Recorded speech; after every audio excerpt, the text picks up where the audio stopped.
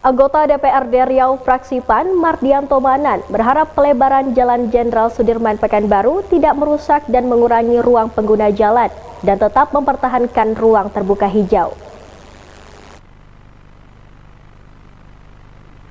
Anggota DPRD Riau fraksi PAN Mardianto Manan setuju rencana penataan jalan protokol di Pekanbaru asal tidak merusak atau mengurangi ruang milik pejalan kaki, serta tak semakin mengurangi ruang terbuka hijau di Pekanbaru karena ruang milik jalan atau rumija sudah diolah sedemikian rupa dan representatif.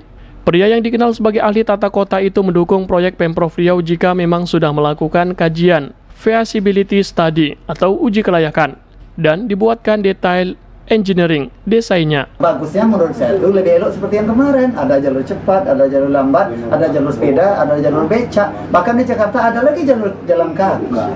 Nah, kalau ini kan coba harusnya dulu sudah manusiawi, justru ini berkembang tidak manusiawi menurut saya gitu. Pak, jadi kita juga fokusnya jangan sampai mengurangi ruang terbuka hijau tadi ya Pak? Iya, betul juga ada RTH. Di media jalan ke RTH, ruang terbuka hijau. Ruang terbuka hijau itu wajib hukumnya Undang-Undang 26 tahun 2007 tentang penataan ruang, 30% wajib ruang terbuka hijau di kawasan perkotaan. Itu undang-undang loh. Nah, kalau itu dihilangkan, dulu Sudirman kan luas itu, katakan 4 meter. Itu jadi 3 meter. Itu jadi 2 meter. Sekarang kan tinggal pohon angsa naik lagi gitu.